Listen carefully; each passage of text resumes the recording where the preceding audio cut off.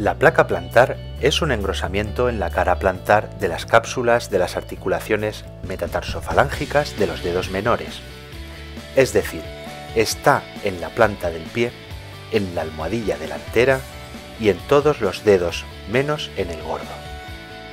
Se podría decir que es una especie de plato que amortigua y estabiliza la articulación que permite el movimiento de los dedos del pie sobre ella pisamos cuando nos ponemos de puntillas.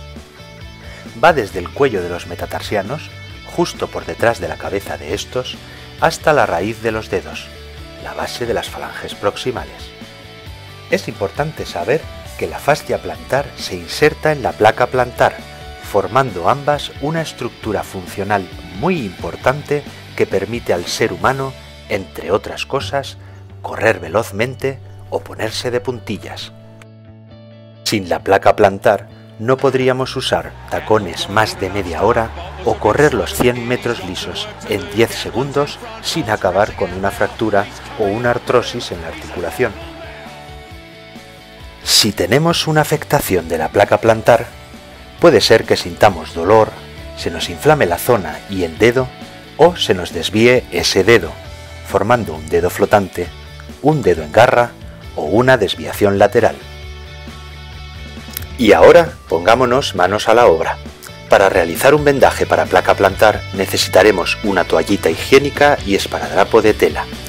En primer lugar, limpiaremos la zona para eliminar los restos de piel y secreciones. Con las toallitas conseguiremos también tratar la piel para que el adhesivo del esparadrapo no le agreda mucho. Esperaremos a que se seque la zona. Cortaremos cuatro tiras de esparadrapo dos más largas y dos más cortas.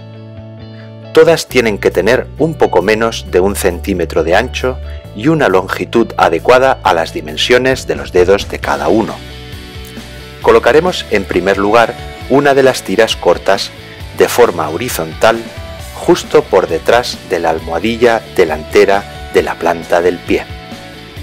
Ahora colocaremos las dos tiras largas, primero una y luego otra. Con el punto medio de dichas tiras sobre la raíz del dedo afectado, en el dorso del mismo, pasaremos ambos cabos por el lateral de dicho dedo y los entrecruzaremos por la planta.